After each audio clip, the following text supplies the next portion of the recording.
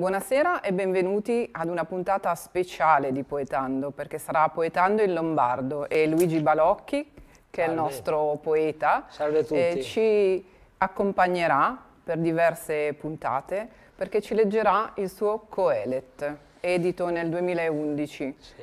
Vero? Che libro è Luigi? Allora, ehm, è stata una scommessa, ho voluto tradurre liberamente in lombardo, in lombardo è una lingua, prima che un dialetto, e quindi ho voluto tradurre in lombardo, in specifico nel lombardo di Abete Grasso, in, cioè in Biegrasin, che è un lombardo specifico, uh -huh.